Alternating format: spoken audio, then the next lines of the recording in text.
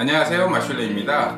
오늘은 유명한 막걸리 수육을 한번 해보겠습니다. 제 나름대로 해석했고요. 자 준비물은 일단 장수 생막걸리가 필요하고요.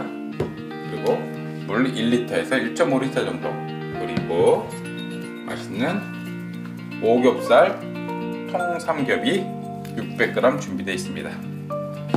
그리고 파 대부분이 4피스 정도 있고요. 그리고 된장 한 스푼이 준비되어 있습니다. 만드는 방법은 간단합니다. 끓어 넘칠지 모르니 큰 그릇에 물을 껄껄껄껄 부어주시고요. 그리고 막걸리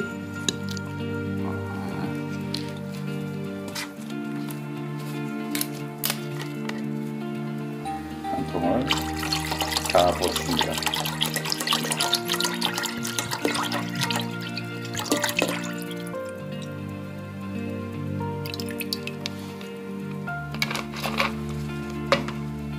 그리고 된장 한 스푼을 넣어주시고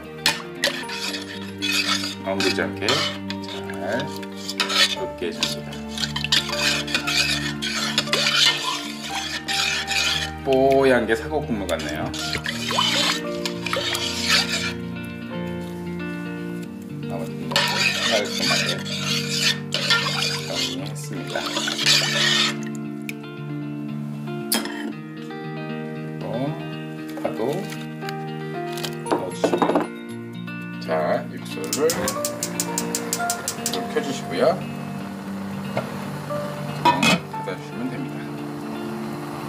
자, 팔팔 끓고 있죠?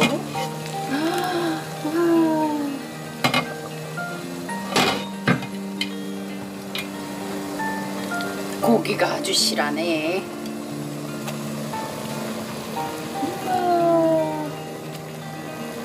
넣었습니다. 조금 한 시간 정도 이제 삶도록 하겠습니다.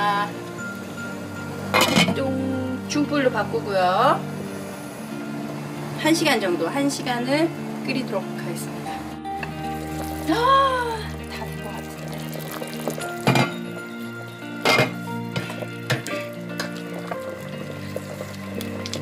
이야, 이 정도 다된 거 아니에요? 우와. 젓가락 찔러 봤어요.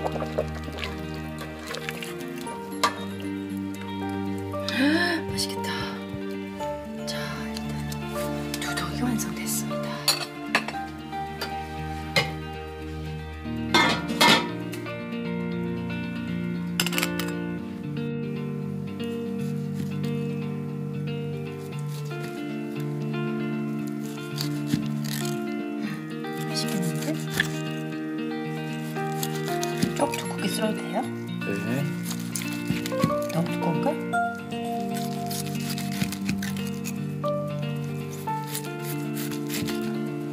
음, 자 일단은 고기를 한 덩어리를 이렇게 싹 싸가지고 먹어보겠습니다.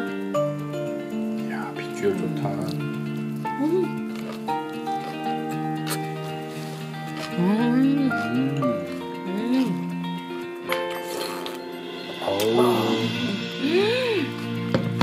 맛있네요. 음, 음, 음.